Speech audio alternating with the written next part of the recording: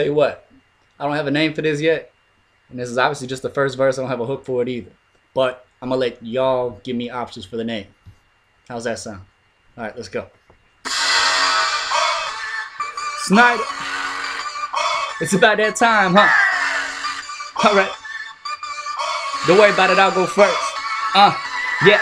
Every time I flow on the beats, I'm defiant, violent giants, clash of the titans, for spitting tyrant, mutated mutilation migrants, while I'm vibing, visualizing what they want, cause colors so vibrant, you can find them, some twisting twisters and shape-shifting pictures. He's a lyrical astronaut, monopoly wizard, he brings that heat like the devil, but you can tell he's got gifted, he's lifted.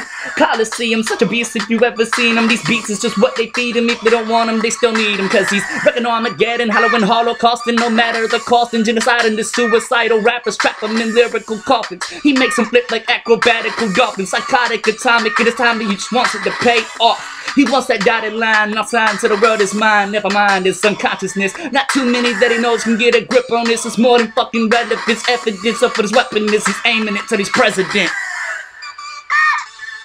Sniper. I'm aiming it till I'm president. Yeah. Snyda. I'm aiming it till I'm president.